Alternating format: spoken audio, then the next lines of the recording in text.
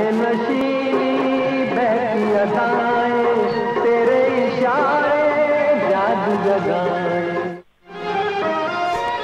Ja, lieve luisteraars, 14 over 5 en uh, we gaan hier het gesprek met meneer Dharamungra beginnen. Uh, iets later dan ik aangekondigd had hè, vanmiddag. Uh, maar dat heeft ook een beetje de, gaat het een beetje fout. Want ik had ook niet in de gaten dat inderdaad de tijd in Nederland met een uur lees terug is gegaan. En waardoor in Suriname dus nu een uur later is. Hè, het is nu 5 uur en dan is het 1 uur in Suriname. Dat is de miscommunicatie. Meneer, meneer goedemiddag. Welkom in de uitzending. Ja, een goedemiddag bij Fred en gegroet aan alle mensen ook aan die zijde. Ja, fijn dat u vanmiddag bereid bent met mij in gesprek te gaan. En uh, nou ja, vanwege de technische uh, kwestie rondom tijd in Europa gaan de dingen vooruit en achteruit, waardoor jullie gewoon blijven staan waar jullie zijn. En dus daar komt een stukje verwarring in. Maar goed, wij gaan het gesprek met elkaar voeren. Um, uh, ik heb u al eerder geïntroduceerd en de mensen kennen u. We hebben eerder een gesprek gevoerd hier op de radio. En dus uh, in die zin is introductie niet meer nodig. Uh, we gaan het vandaag hebben over toch wel dat politiek-bestuurlijke chaos. In Suriname, waarvoor lees het Surinaamse volk, het arme volk, de prijs voor moet betalen. Want alles wordt duurder, hè? Alles, alles waar het volk toch wel van moet hebben, dat wordt bijna onbetaalbaar, zien we. Maar daar komen we straks op. ja, Moera, laten we even stilstaan bij Glasgow. Lees Schotland, want daar is de Surinaamse president met een delegatie naartoe gegaan. Hij heeft daar een speech gehouden. Uh, om uh, toch wel de wereld te overtuigen dat de wereld een verantwoordelijkheid heeft naar de, de derde wereldlanden toe. Met name de lage landen en, en dat niet de arme landen de vervuilers zijn, maar met name de sterke geïndustrialiseerde landen en die een verantwoordelijkheid hebben om juist in deze moeilijke tijd de arme landen te compenseren. Hij is teleurgesteld, hoor ik, uh, in wat tot nu toe bereikt is. Mag ik een eerste reactie op uh, dat verhaal van meneer Santoki? Nou, uh, laat me toe zeggen dus dat het, het verhaal van de president zelf, dacht ik, is wel een correct verhaal. Ja. Hij heeft inderdaad een goed verhaal afgestoken. Ja. Alleen wat eigenlijk in zijn verhaal ten onrechte ook niet is aangegeven, is, we klagen natuurlijk dat wij de, uh, niet de vervuilers zijn. Uh, we, wij, we, hebben, we zijn een van de groene landen in de wereld. Ja, we zijn, hoe het, we zijn neutraal wat betreft dus de, de oxygen neutraal in Ja. de wereld. Maar wat hij, wat hij wel heeft verzuimd te zeggen, is dat als we kijken intern naar wat er op het vlak van milieu, et cetera, wordt gebruikt. Fred, ik ga u zeggen, ik vlieg vaak over Suriname vanwege mijn werk Ja. naar het binnenland.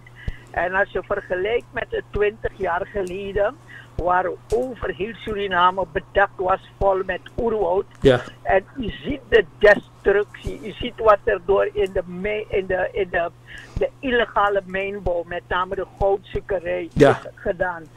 Kilometers, 10, 20, 30, 40, 50 kilometers ver. En u ziet de ellende, u ziet hoe de water totaal ver, en vergiftigd zijn. U ziet hoe de, het stuwmeer voor een groot deel, bijna een, der, een kwart van de stuwmeer, zie je gewoon aan het verschil in het water, Mhm. eh, de kleur. Zie je dus dat daar ook de vervuiling en de vergiftiging van de wateren eh, is toegenomen. Maar dus dat we, met andere woorden, dat we zelf bezig zijn, onszelf eh, in, de, in, in, in, in, de, in, het lijf te snijden. Ja. Dat wordt helaas toch te weinig gezegd.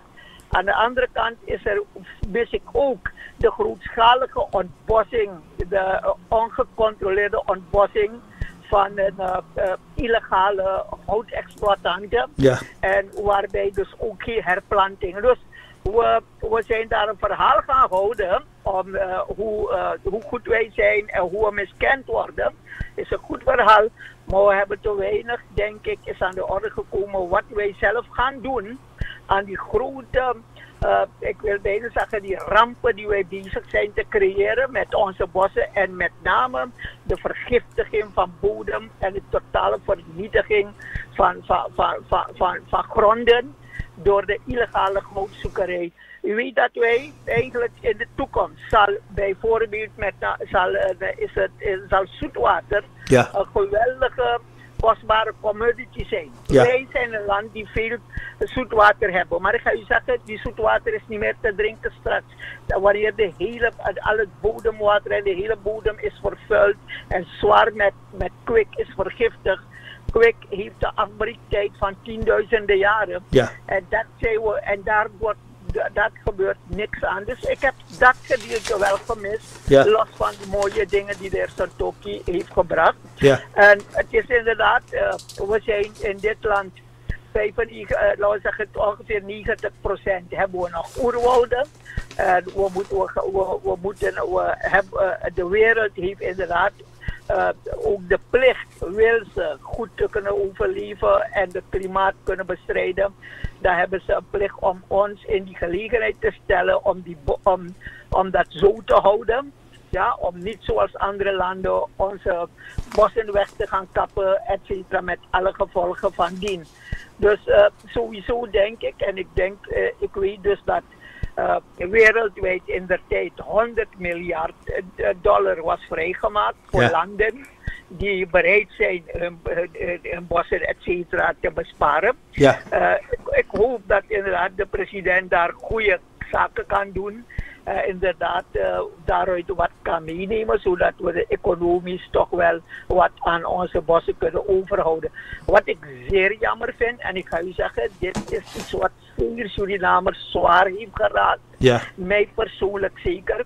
Toen de president zijn speech daar afgaand ging, zag, ik weet niet of je dat gezien, 95% van alle stoelen in de zaal was leeg. En in feite geeft dat precies aan hoe de wereld ons ziet, hoe men ons meer kent en hoe in de ogen van de wereld blijkbaar Suriname nog erg onbelangrijk is. Eh, het heeft me gechoqueerd en met mij vele mensen die Ja. dat beeld hebben gezien. Ja.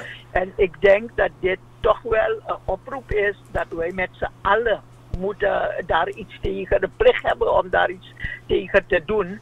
En om, om, om, samen te kijken dat we dit land weer eh, een plaats eh, eh, in, de, in de wereld kunnen geven waarbij we inderdaad gekend worden. Maar de opkomst daar, als je, zeker als je alle journalisten et cetera nog aftrekt, dan denk ik dat er niet eens 2% of 3% van alle mensen die daar in verband met die conferentie waren, naar Suriname gaan zitten luisteren.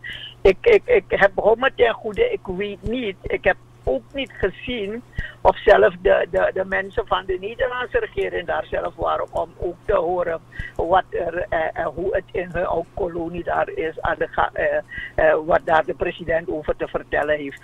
Dus, en dat was natuurlijk chockerend, Ja. bij een, eh, Fred, eerlijk Eh, gezegd. Ehm, ehm, en heeft, dit, heeft Suriname dit aan zichzelf te wijten? Waar, waar komt het dat, eh, ik bedoel even, heeft meneer de president zich braver willen voordoen dan Suriname feitelijk is? Op eh, met name de, eh, eh, het thema waar, daar, waarover daar de wereld bijeen is gekomen. U had het over, nou ja, Suriname is toch wel heel erg zwaar bezig, ehm, nou ja, roofbouw te plegen op, op, eigen, op eigen bossen. Eh, zeg maar, milieu wordt vervuild. 60.000 kilo, hoe zeg je dat, kwik gaat per jaar de Ja. bodem in. Ik bedoel, dat, dat ontgaat de internationale gemeenschap toch niet. En is dat misschien de reden waarvan men dacht, ja, ach, we kunnen er dan gaan luisteren, maar begin eerst je huiswerk te maken. Dat zou best kunnen bij, Ja. Ali, eh, eh, Fred. Ja. Omdat eh, in de wereld van tegenwoordig is men erg goed geïnformeerd. Ja. Je kan overal, kan je in allerlei reviews en allerlei zaken, kan je natuurlijk kijken naar de posities van landen. En ik denk dat op dat stuk van wat we zelf ervan, wij hebben, we zijn gezegend met enorme natuurlijke rijkdommen. We zijn gezegend met veel bos.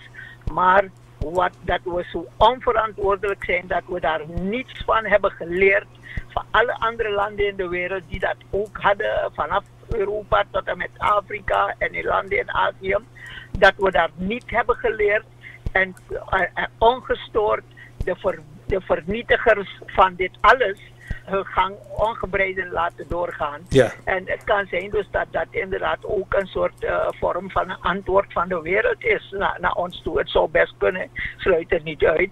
Dus uh, uh, inderdaad, we moeten inderdaad, in ieder geval als land moeten we erg veel gaan doen om onze imago in de wereld, zeker op het stuk van milieu en klimaatbehoud, moeten we, hebben we veel werk te doen samen. Ja, ja het punt van good governance, uh, integriteit, uh, betrouwbaarheid.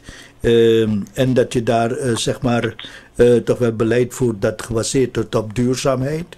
ik bedoel, de internationale gemeenschap neemt toch ook notie van dat nou ja, Suriname, ik had het met Jogi erover, toch wel het imago krijgt van een narco-staat, waar heel veel drugs zeg maar, doorgeleid wordt. En dat de politiek gevoerd wordt, niet gericht op het, nou ja, de emancipatie van de bevolking, maar veel meer de eigen omgeving centraal staat, family en friends. Dat zijn toch zaken die de internationale gemeenschap ook niet ontgaat. Ja, ja, men is, nogmaals, men is daar vrij goed in geïnformeerd. Als u leest en u kijkt inderdaad wat internationaal, wat er wordt gepubliceerd over Suriname, dan mm -hmm. blijkt dat men toch wel aardig op de hoogte is.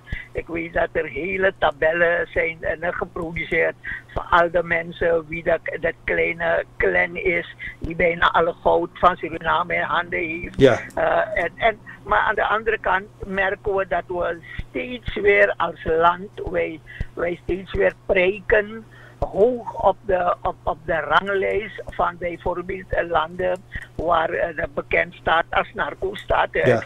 En, en ik ga u zeggen, dus dat is zeer recentelijke vangst waarbij het gaat om uh, 4000 kilo weer. Ja. Uh, niet eens een maand, een paar maanden verder dan die 2500 Ja. en weer, ik weet niet hoeveel duizend. Uh, dus à la dol blijft dat doorgaan en je vraagt je af, uh, kan dat op een of andere wijze niet ingedampt worden? Maar dit is uh, zeker niet bevorderlijk voor de imago van je land. En zeker als Surinamer, je merkt het als je op reis gaat, waar je van binnenste naar binnenste wordt gekeerd. Ja. Omdat je, je, je, je, je gewoon komt uit een land die, uh, die, die eigenlijk vrij uh, ongunstig te boek staat. Uh, begreep je? En, Ja. en dat is natuurlijk niet leuk. Natuurlijk gaat het om personen, het gaat om uh, een soort de, de, de maffia die in deze sectoren huishoudt. Maar uh, ja, kijk, nu wil ik, zeggen, wil ik niet zeggen dus dat dat allemaal de schuld is van deze regering. Kijk, de kwestie van uh, de, de, de, de, het ontwikkelen tot een en de toename van bijvoorbeeld drugs, et cetera, Ja. is inderdaad in de afgelopen tien jaar hebben we een flinke toename ge, gekregen. Om dat allemaal te gaan onderdrukken is best een heel moeilijke en een zware taak natuurlijk. Ja. Om de kwestie van die illegale houtkap en al die vergunningen. Als u weet dat het hele bosvordel in de hele kustroute van heel Suriname, de hele bosvordel, dat het bijna niet eens, eh, nauwelijks meer iets van over is. Alles is in concessie gegeven, Ja. allerlei figuren. Waarbij soms we praten over 80 en 100.000 hectare die mensen. En je vraagt je af, wat, heeft wat houden we als land over?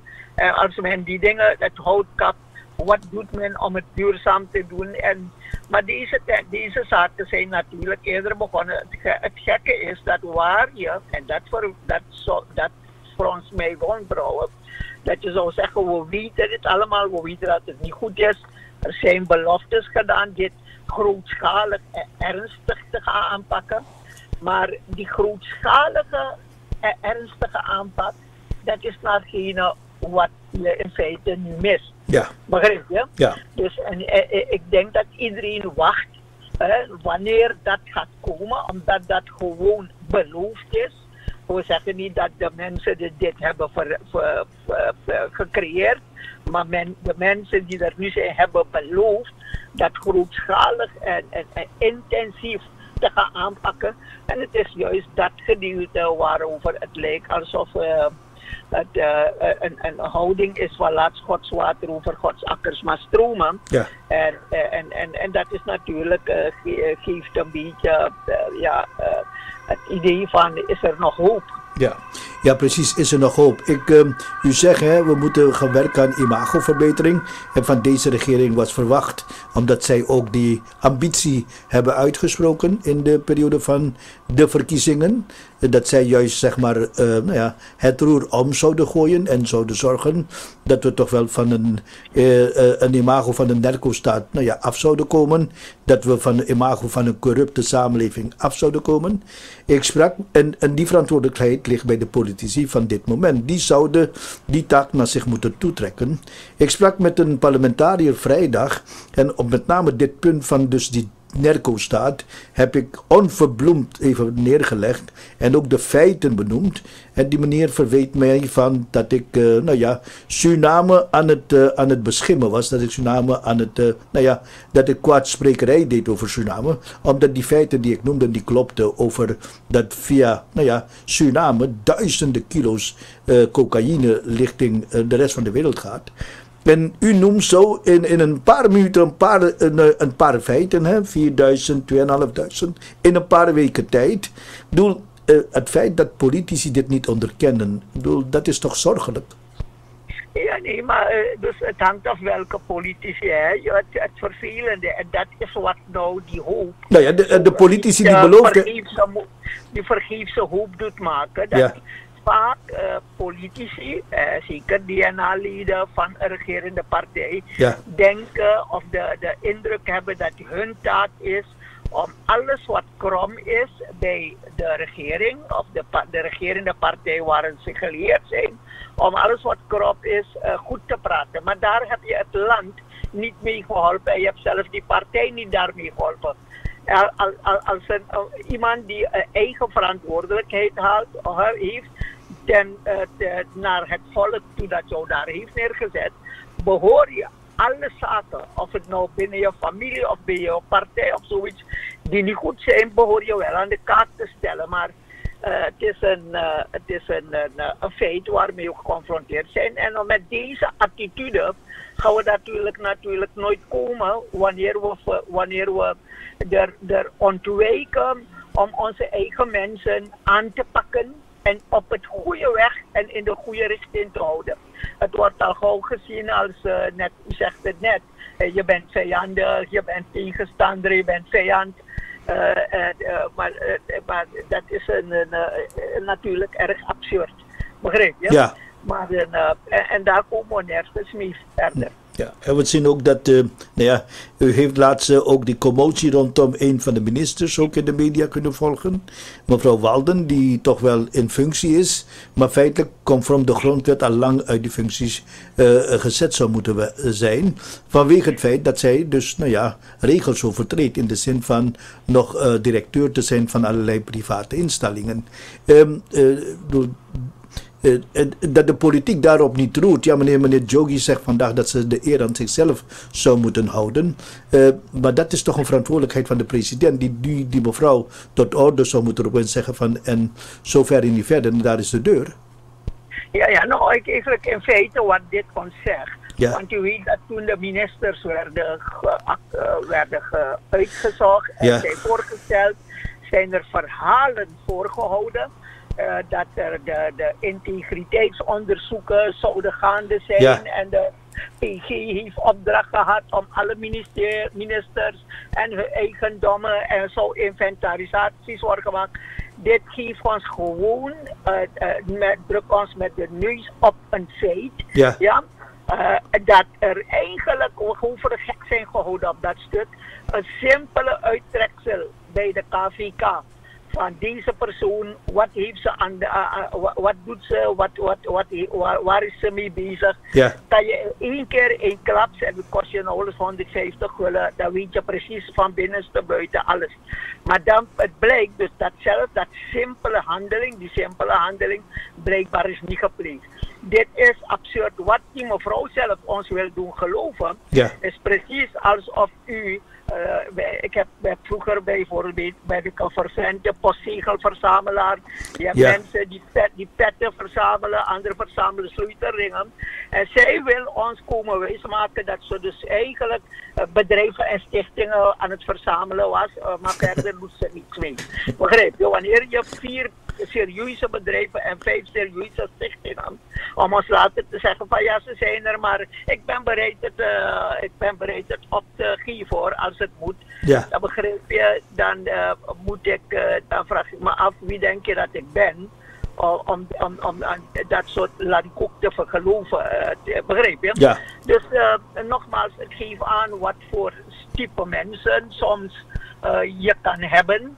En ik vind het jammer dat inderdaad de president toen bij zijn keuze niet doortastend genoeg is geweest bij het recruteren om mensen naar hun achtergronden, te, te, bij het onderzoek naar mensen hun achtergronden. Dat vind ik jammer. Ja. En ik vind inderdaad dat die mevrouw nog het lef heeft om te zeggen, als het moet, dan ga ik de, die dingen opgeven.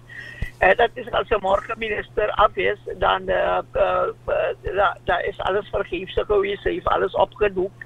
Ik bedoel, je wil me toch dat niet laten geloven dat dat, dat, dat echt serieus is. Ja, als dit, zo van, als dit soort lijkt klein, maar toch wel wezenlijke zaken, door die beloofd waren om toch wel die verandering in te brengen. Ik zag trouwens een bord voor het kabinet van de president. we are going to change. Hè? Wij gaan de zaak veranderen in het land. Uh, geef hoop en verandering uh, mee aan de samenleving. Ik bedoel, uh, als je dit soort van wezenlijke zaken die aan de basis staan van de moraliteit, van integer overheid, als je dat nalaat, hoe, hoe betrouwbaar ben je nog? kijk, weet je wat het probleem Ik wil best geloven. Ik heb vaker met meneer Santok gesproken. Ik denk dat hij een aardige, leuke man is die best bepaalde dingen wil doen. En ik heb hem dus bij de laatste gelegenheid ook dat zelf gezegd, dat het probleem is, als je goede dingen wil doen, wat hoe geweldig je ook bent, het gaat je nooit alleen lukken.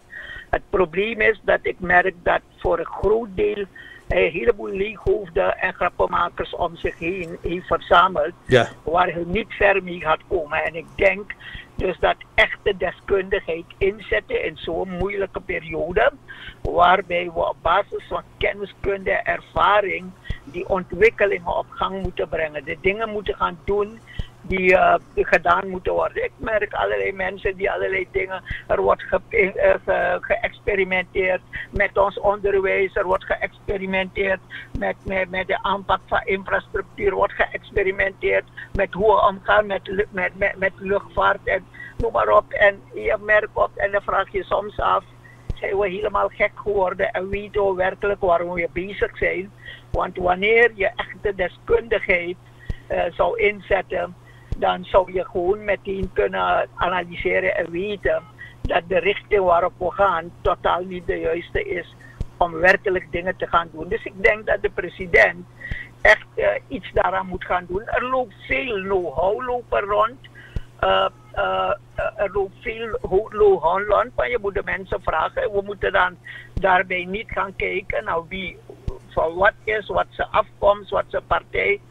Maar ik denk dat op basis van integriteit en, en kennis er toch wel genoeg uh, uh, uh, ervaren en kundige mensen rondlopen. Maar die jammer genoeg niet dat we zeggen, worden gevraagd om die bijdrage te leveren.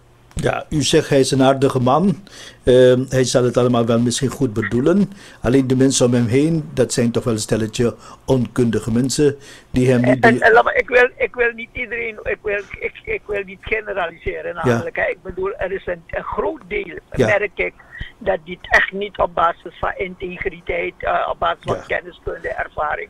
Want als ik mensen zie op bepaalde posten en ik hoor uh, analyses en ik je hoor de inzicht die ze hebben, dan, vraag, dan krap je echt achter je oren. Ja, maar na zes maanden, nu zelf, uh, nee wat zeg ik, zestien maanden, uh, had de president toch tot dat inzicht moeten komen dat, dat, dat hij toch wel regelmatig uh, op zijn neus gaat, dat hij regelmatig besluiten neemt die hij terug moet halen, omdat uiteindelijk de voorbereiding en de uitvoering van die besluiten niet conform de fungerende wet en regels, uh, dan wel uh, de realiteit in de maatschappij plaatsvinden. Ik bedoel, eh, als je drie keer die, die, die conclusie trekt, dan moet je toch ook bij jezelf te raden gaan.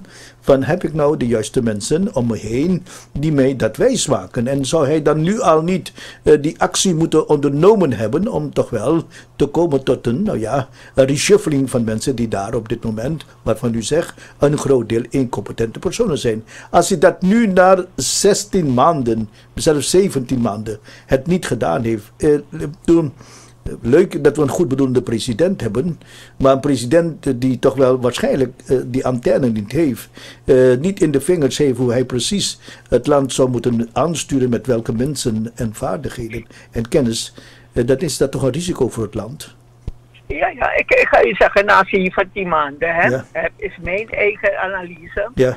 En dat heb ik overduidelijk kunnen zien. Ik heb gelukkig, ik, laten we zeggen, ik heb in heel veel sectoren, brede sectoren, ja. heb ik toch wel vrij veel, uh, uh, laten we zeggen, te maken mee gehad, waarbij ik denk zeker uh, bepaalde inzichten te kunnen hebben. Ja. Maar ik, ik ga u zeggen, het probleem wat wij hebben als Suriname, hoe raar het ook klinkt, ja. is niet in eerste instantie een financieel probleem. Mm -hmm. De financiële problemen waar we mee, zoals u zegt, zijn namelijk afgeleide van een ander groter en immens probleem.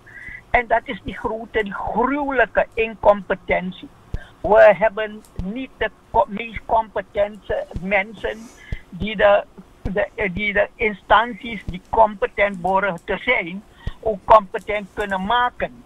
En daar zonder, zonder mensen met goede ideeën, met goede plannen, ja, uh, ga je er nooit vandaan komen. Al heb je geen co-procent, u weet het ook wel, en je, je wil een bedrijf starten of wil je business doen. Ja. Als je een goed plan hebt, elke bank, elke financiële instituut is bereid je te financieren omdat er geld gaat worden gemaakt, omdat dat ding goed eruit ziet. Ja. Maar als je die plannen niet hebt, of je die goede zaken niet hebt, ga je, ga je, ga je, ga je geen steen vinden. Begrijp je? Ja. En, en dat is het probleem. En dat is zijn, daar ligt in feite de wezen, het wezen van de, uh, het grootste deel van de problemen waar we geconfronteerd zijn. Ja, maar uh, u zegt toch niet dat de Suriname, zeg maar, qua intelligentie, intellectuelen, um, um, een, een armoedig land is? Dat zegt u toch niet? Nou nee, kijk, uh, er zijn veel intellectuelen, jammer Ja. genoeg, die het land verlaten, omdat ze zien dat er, uh, ja, uh, blijkbaar heeft mensen niet nodig, ze zijn miskend, ze worden niet erkend, maar uh, de economie en alles en kennis wordt hier niet beloond. Hier worden kennissen beloond. En, en die dingen zijn een van de hoofdmotoren wanneer je intelligentia wegtrekt. Maar ik ga u zeggen, desalniettemin denk ik dat er toch nog wel genoeg mensen die capabel en kennis hebben, Ja. uh, maar die eigenlijk helaas niet worden aangesproken op hun Surinaamse inborst om een bijdrage te leveren. En dat vind ik jammer. Ja, het heeft met de politieke cultuur te maken. Hè? Dat wanneer een bepaalde partij uiteindelijk aan de macht komt, dan uh, worden alleen maar mensen uh, zeg maar geaccommodeerd die uh, verwanten zijn, partijgeleerden zijn. en, en, en zij die niet direct een nou ja, affiniteit hebben met de politieke partij, dan maar een uitgesproken aanhanger zijn van die politieke kleur, die worden, hoewel ze de competentie beschikken, nou ja, buiten dat model, buiten dat systeem, uh, het bestuur gehouden. En daarmee, Ja, ja. ja toch? Maar dat is toch, een, dat is toch precies datgene wat Santoki beloofd had, om daarmee, als hij president zou worden, om daarmee Om dat te... te doorbreken. Ja, ja, ja. ja. en, en dat, kijk, en dat is die teleurstelling. Hè. Je moet kijken, als Ja. je kijkt naar met name de partij van de president, ja, die zoveel mensen, het is, in de historie is het nooit voorgekomen. Ja. Dat met name een, een, een, een, een, een Hindoestaans gekleurd partij ja, zoveel niet-Hindoestanen, zowel de Javaanse groep, van wie bekend is dat ze erg eh, op elkaar eh, gefit zijn, Ja. maar ook de, de stad Kriool en de Boskant dat desondanks de mensen die drempel hebben eh, Overwonnen. gelaten ja, en bereid waren in jou en in jou te geloven en mee te gaan. Het is zo'n uh, het is zo'n schat, het is een, het is een diamant die je hebt gekregen. En ik vind het jammer dat dat eigenlijk niet goed wordt benut. En dat we op de, dezelfde oude voet gaan. Uh, wij zijn in dit land, de politiek hier, is altijd gebaseerd geweest op patronage. Ja. En het is zelf, dezelfde patronagepolitiek die we hier al uh, bijna uh, drie kwart eeuw al mee geconfronteerd zijn, die doorzet. En daar ga je niet verder mee komen. De heer Santoki had inderdaad beloofd dat alles te doorbreken. En precies daar, denk ik, is het geloof bij velen gaan eroderen. Ja. Maar het is nog niet te laat. Uh, je, dit, laten we dit als we zeggen van oké, okay, dit is de inwerktijd, uh, er worden fouten. Uh, ik hoop alleen maar dat inderdaad die koers, dat, hij, dat hij heeft geleerd uit de, de zaken die fout en dat hij een andere koers zal varen. Wat het probleem is, wanneer je zou zeggen morgen, uh, oké, okay, we sturen ze Tokio weg, wie hebben we? Je hebt niemand anders op dit moment. Op de lange duur wel, maar op dit moment uh, heb je die dus. Je, je, je zal het moeten proberen te doen. En daarom zijn mensen die, uh, die wijzen van wat fout gaat en waar het fout gaat, die zijn erg belangrijk. En die moeten daarom, zou men daarna moeten luisteren. Zoals Ja. u zegt, u wordt aangevallen wanneer wanneer u mensen zegt wat het fout is en die proberen wat krom is goed te praten. Daar ga je het niet mee doen. We moeten leren uit de fouten, of men moet leren, degene die aan het stuur zetten van die weg is niet goed, die weg is niet goed, neem die weg. Ja. En uh, ik denk uh, dus, en daarom wij hebben de plicht, en dat blijven we doen, dat blijft u doen in uw programma, om de mensen te wijzen van hey, uh, deze weg is niet goed geweest, ga nu echt de, een andere, andere koers varen. Ja. En dat is wat je hoopt dat er nog zal gebeuren. Hè? Ja. Ik wil niet de hoop meteen uh, opgeven.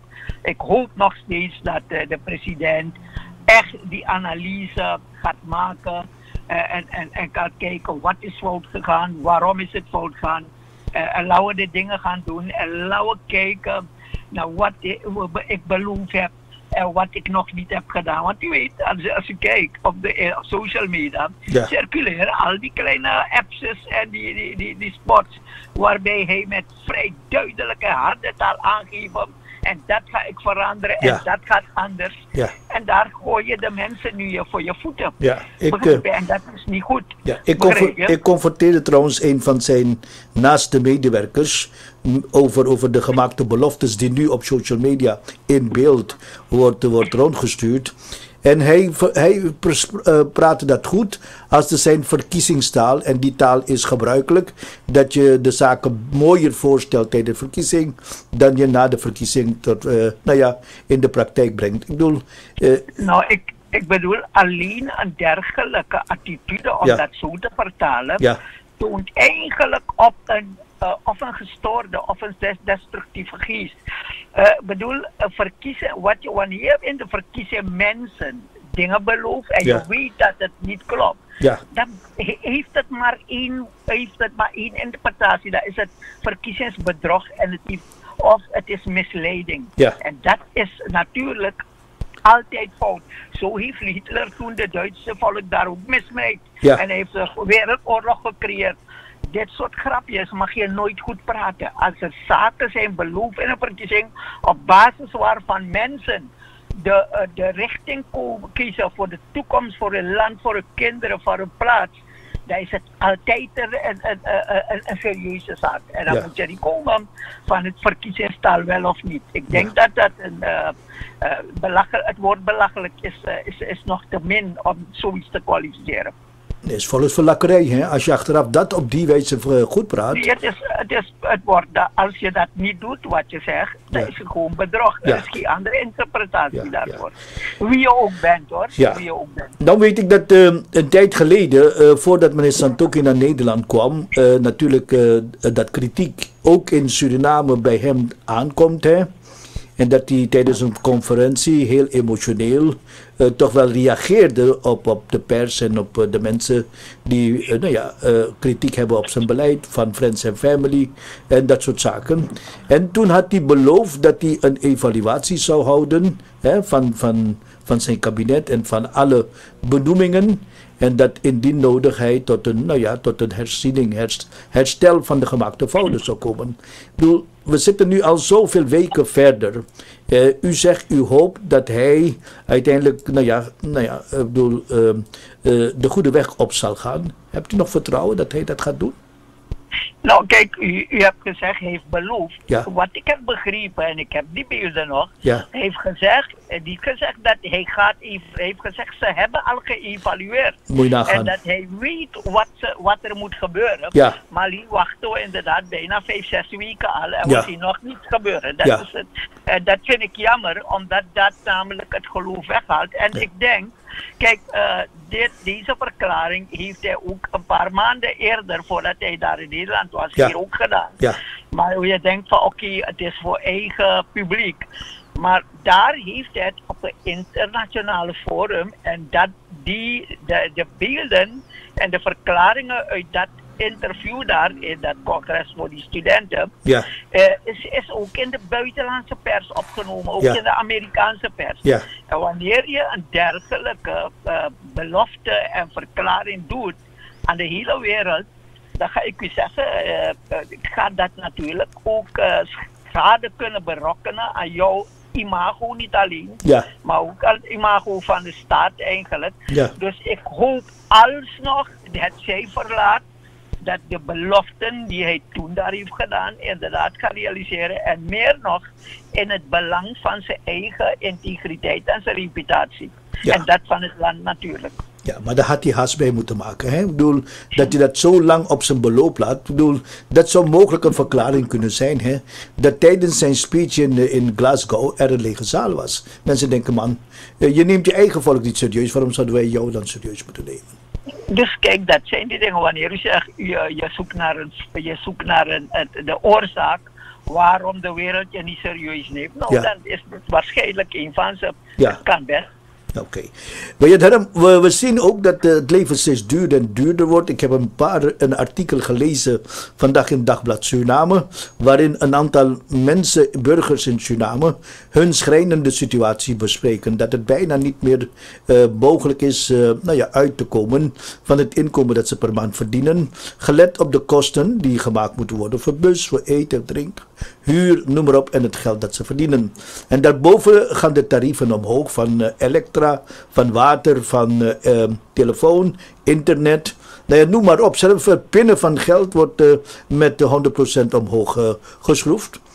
Ehm, ik bedoel, armoedebestrijding was toch de bedoel, motto van deze regering, dat wij de mensen een beter leven gaan geven.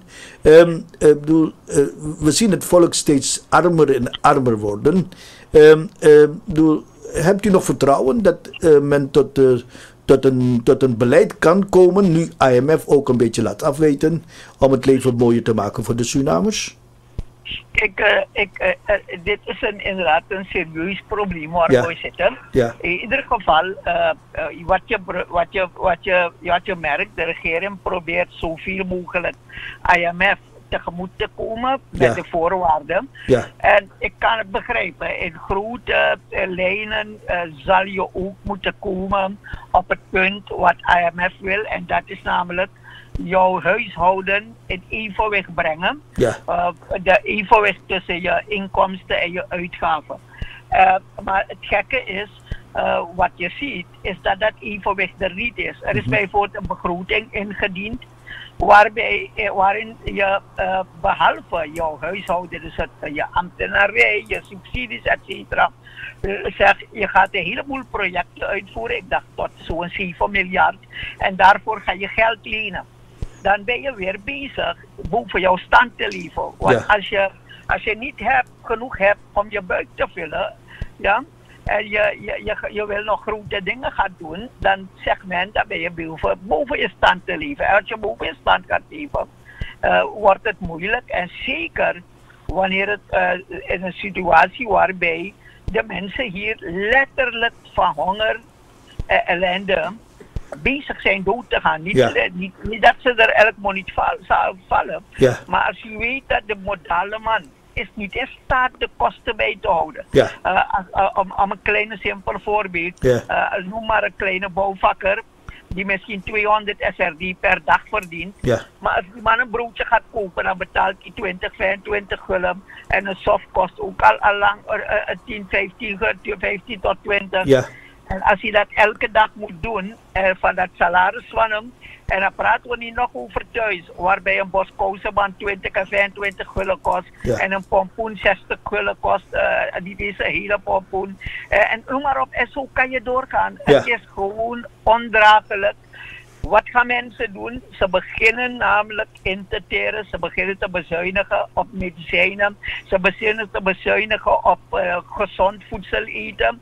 Eh, ik merk als je, bij de, als je bij de bakkerij gaat, dan zie je iedereen koopt tegenwoordig een grote pak met brood. Ja. Waarom? Als je brood eet en je vult, kan je daarmee je maag vullen. Ja. En het, eh, het, de, de, de, de, het beleg is, hoeft minder gecompliceerd te zijn dan wanneer je kip, et cetera, moet kopen. Want Ja. die dok, die doks kost nu 800 tot 1000 gulden voor een doks. Ja. Eh, en, en, en een kip kost ook al bijna 100, 150 gulden per kilo. Ja. Eh, niemand kan dat meer betalen, begrijp je? Ja. Dus nou, ik, ik, ik vind, eh, eh, met alle respect, ik denk zeker dat we subsidies en dat soort dingen moeten aanpakken.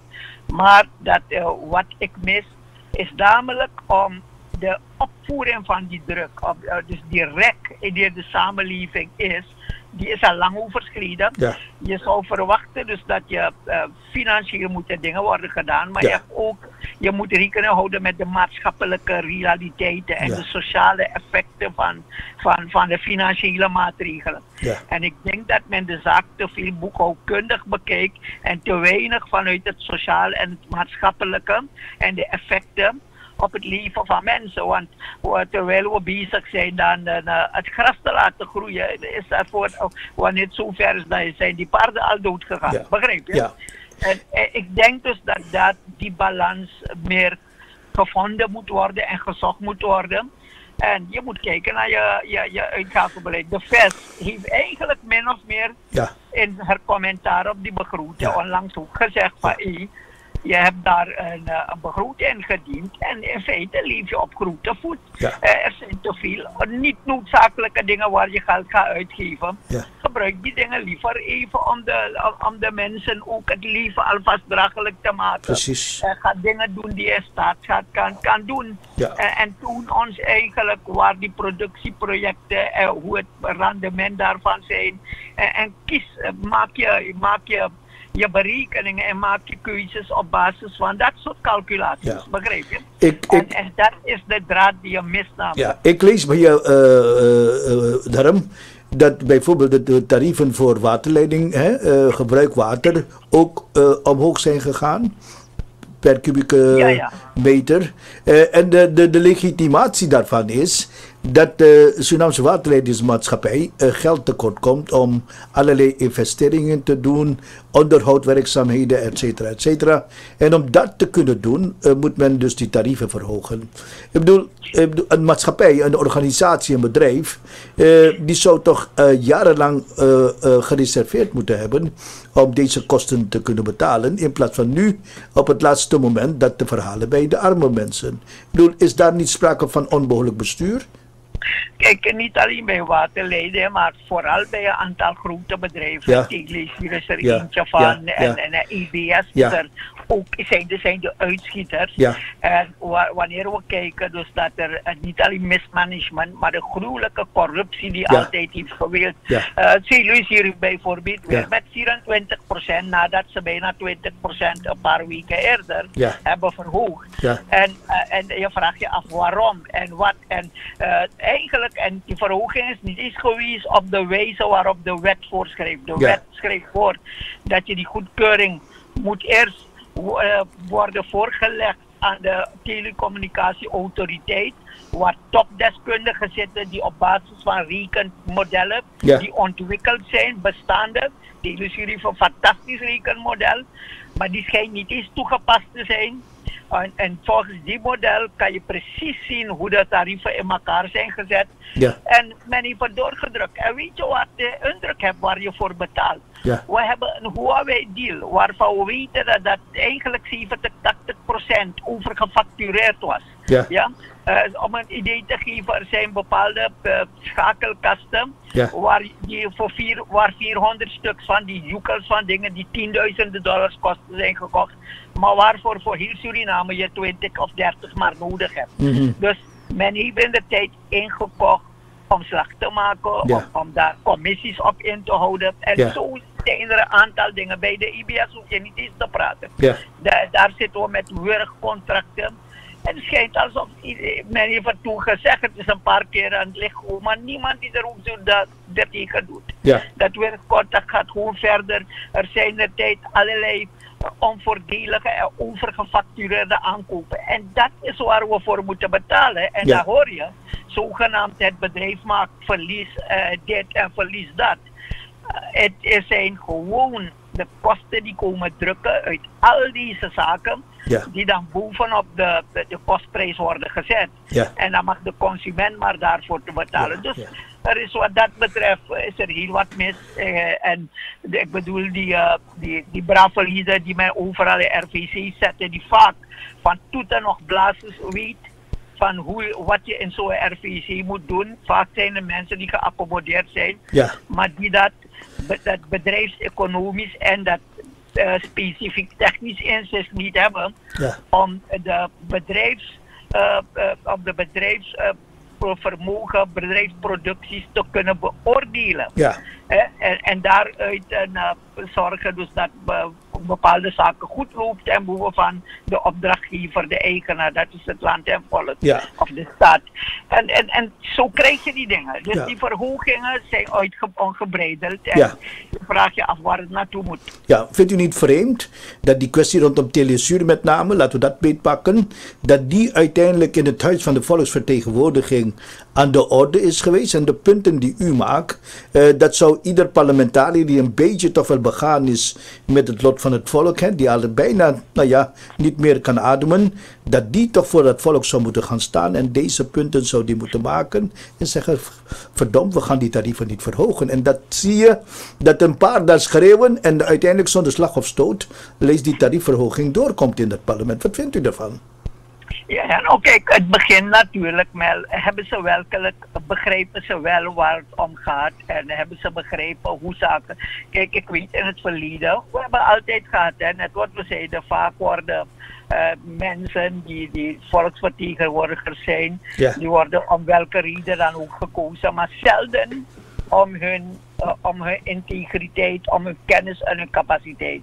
Vaak om andere redenen. eh, ze kunnen goed veldwerk doen, ze kunnen goed kletsen en mensen belazeren.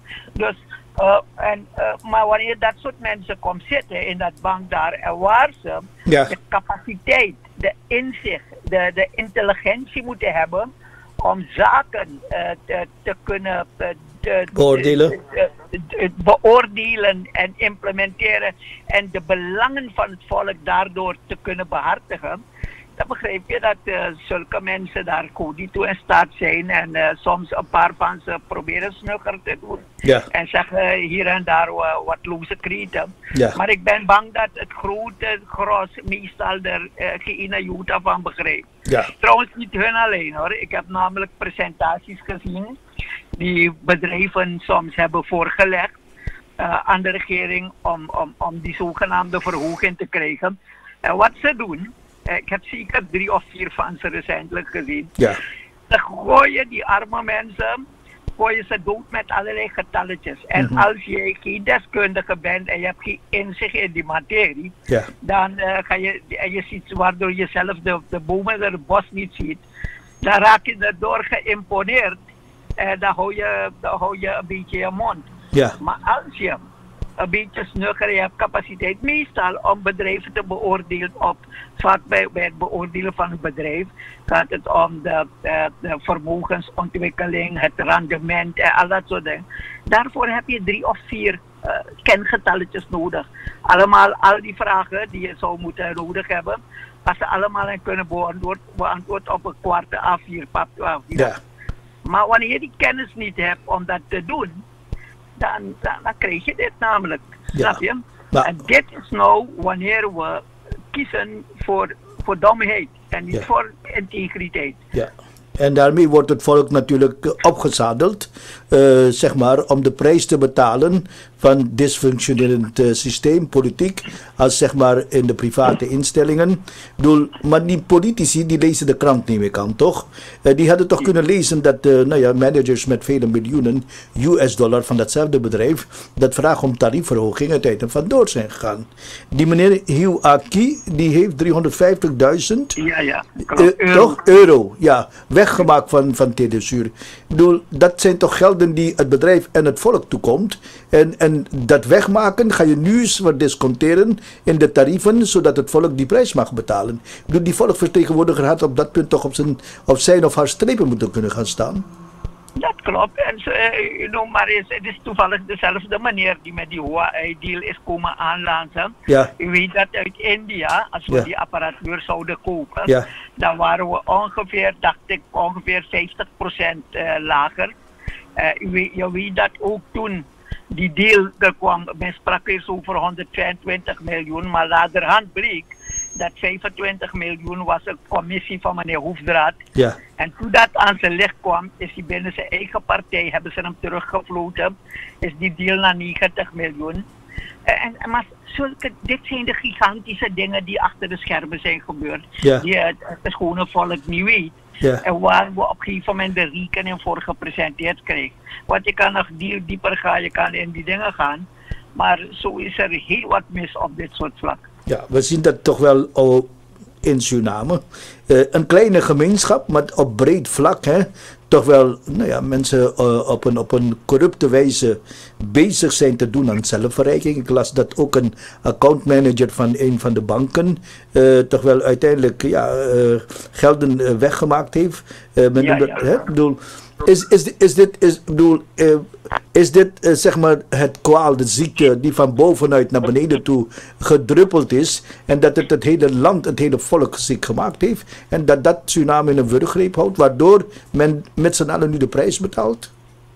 Kijk, eh, Sven, zwendelerij is altijd iets persoonlijk. Hè? Ja. Het hoeft niet te zijn dus dat het aan een bepaalde partij of een bepaalde groep. Het is aan een persoon gebonden. Je hebt eerlijke, je hebt oneerlijke mensen. Je hebt mens, mensen die hebben geleerd dat je in het zweet des aanschijns je, je, je, je brood moet verdienen. En anderen die, die, die gaan daar helemaal tegenin. Dus ik wil, ik, ik wil dat niet zo zeggen dus dat het komt. er- Maar het is wel zo dat meestal moraal en Ja. ethiek is een kwestie waarin eh, waarbij je uitgaat eh, of die uitstraalt naar mensen. En zeker de voorbeeldmensen daarin zijn meestal de mensen die het bestuur dragen in een land. Die behoren dan goede voorbeeld te geven. En als ze het goede voorbeeld geven, dan leg je daarmee vast een beetje de morele code. Ja, Van stelen is niet goed, corruperen is niet goed. eh, begrijp je dat soort dingen?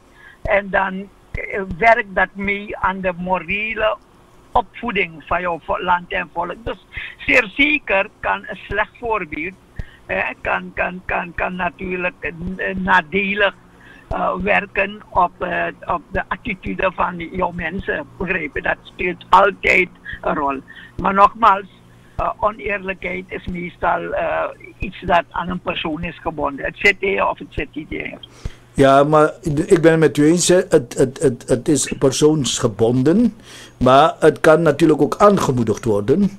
Ja, en- ja, dat is wat ik bedoel. ja, aangemoedigd worden. En leiders worden daarin een goede voorbeeld te geven.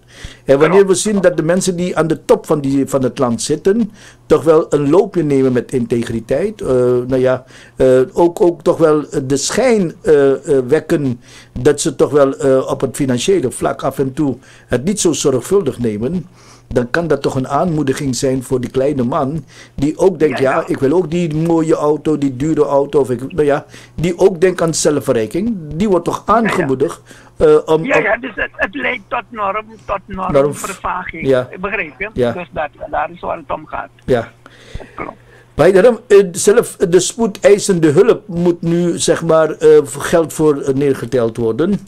Ja, 500% meer. Ja. Dat is erg. Hoe, hoe- Dat is heel erg. Ja, ik bedoel, eh, eh, is dat wat u bedoelt? Dat mensen dus nu ziek gaan worden, maar dan vervolgens, nou ja, ehm, hun gezondheid minder prioriteit gaan geven, omdat ze het geld niet hebben om die kosten te kunnen maken om weer gezond te worden.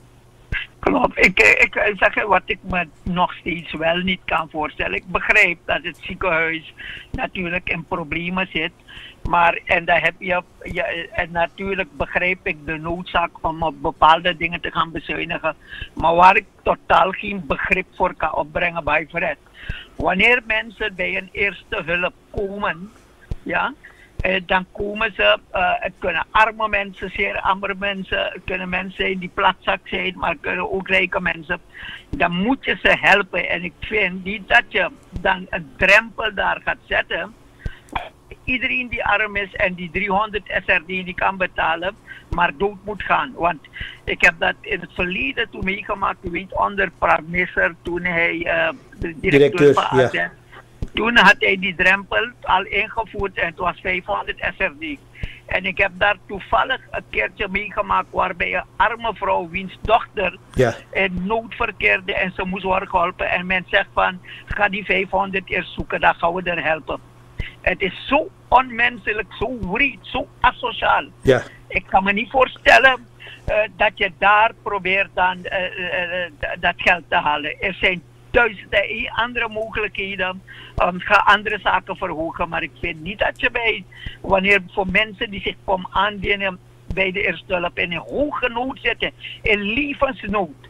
Dat je ze zegt, ga eerst geld zoeken, dan, ga je, dan ga je, gaan we kijken of we je, eh, als je nog in leven kunnen houden. ja, Dat kan gewoon niet in mijn ogen. ja. Nou is alle hoop gericht op de IMF. Hè? Ik bedoel, eh, men hoopt dat inderdaad de Board of Approval uiteindelijk eh, nou ja, over de brug komt en Suriname gaat subsidiëren, niet subsidiëren, geld gaat lenen in tranches. Eh, maar stel dat het negatief uitpakt, hè? ik bedoel, nogmaals, we hopen het allerbeste, eh, dat, eh, dat uiteindelijk het toch nou ja, goed komt. Maar stel dat het niet goed komt, ik bedoel, hoe ziet u de toekomst in voor, voor die kansarme mensen dan, voor het land en het volk? Nou, la- laat me dit ervan zeggen. Zelf heb ik nooit IMF als de, eerst, als de eerste en de enige oplossingsmodel gezien. Ja, Maar ik heb gezegd, oké, eh, omdat er zijn andere modellen die zelf veel beter en veel meer kan opbrengen, maar die politiek-wise eh, misschien een heleboel eh, problemen met zich kunnen brengen. Zie- En waarbij zeker mensen die in het, in, aan de macht zijn, niet graag zouden willen doen. Maar het doen, er zijn een aantal impopulaire dingen die je zal moeten doen. En je kan tegen belangen moeten komen opkomen waar, die, die, waar je natuurlijk het beste tegenstand mag verwachten. Eh, zelf had ik liever dat men die weg had bewandeld, maar zeg oké, de realiteit is er eentje van dat we dat niet hoeven te verwachten. Men zal dus naar IMF moeten. En natuurlijk hopen we, omdat dat de enige, de tweede reële mogelijkheid is. De eerste zie je dus niet zitten. Eh, en dan, en, maar als dat dus blijkt dat dat niet kan, dan krijg kom je een probleem. En dan denk ik, maar dan geloof ik niet dat alles nog steeds, uh, laten we zeggen, alle hoop is, weg is. Dan, zal je, dan kan je nog altijd dat andere weg om die andere dingen die je moet doen, te gaan doen. Al zijn ze niet populair en al gaat dat uh, met uh, een heleboel slag en stoot gepaard. En uh, al gaat dat met het, het, het, het, gaan moeten vechten tegen allerlei andere belangen die niet het volksbelang zijn. Ja. Nou, denkt u dat met de parlementariërs van deze orde uh, men in staat zal zijn inderdaad uiteindelijk tot impopulaire maatregelen te komen? Ik noem maar een voorbeeld. Ik sprak met een parlementariër over een plan B, hè, waarbij ik zeg, nou geef het goede voorbeeld. Begin bijvoorbeeld de dubbele salarissen van ambtsdragers die gewezen zijn en nog zijn, maar ook parlementariërs om die terug te, te draaien. Begin alle privileges die mensen hebben, ooit verworven vanwege een bepaalde regeling, probeer dat uh, terug te brengen. En probeer ook als bestuur eerder voorbeeld te geven. President Santoki, die hoeft natuurlijk niet met tien volgauto's op straat. En die hoeft niet met de duurste auto op straat. Die kan op de fiets van zijn huis, ik weet niet waar hij woont, naar het kabinet van de president iedere ochtend fietsen. Ik heb niet de indruk dat er iemand is die hem kwaad wil doen. Bedoel, als je het goede voorbeeld geeft aan het arme volk van ik lei met jullie mee dan zou je misschien toch wel uh, bij het volk uh, nou ja, wat meer begrip en draagvlak kunnen creëren om met elkaar samen de mouwen op te stropen en te gaan om een beter klimaat te scheppen. Ik bedoel, uh, die parlementariër die zag het allemaal niet zitten. Die zegt van mensen hebben hun voorwerprechten, uh, dat is bij wet geregeld en daar moet je niet aan komen. Ik bedoel, als dat de attitude is van de mensen die zich noemen volksvertegenwoordigers en feitelijk niet nadenken over die plan B, maar wel al zien de bui hangen hè, als IMF niet komen, denkt u dat dat nog in, dit, in deze regering zou kunnen? Nou, u zegt, uh, uh, u zegt dat als dat de attitude is, ik zou het niet eens bij de attitude zoeken. Ja. Ik zou dat zoeken bij het intelligentieniveau. Want als je op dat niveau denkt, uh, precies al op het niveau van hoe men denkt ergens in, in, in, in, de, in de, de moeilijke landen in Afrika. Ja. Ja, dan, dan, dan, dan, begrijp je dat je, je in feite niet hier thuis hoort, maar daar eerder. Maar waar het om gaat, kijk, wat ik geloof dus uh, natuurlijk uh, denk ik dat het geven van voorbeeld uh, heeft een sterk, kan een sterk, een goede voorbeeld kan een sterk motiverend effect hebben. Ja. Maar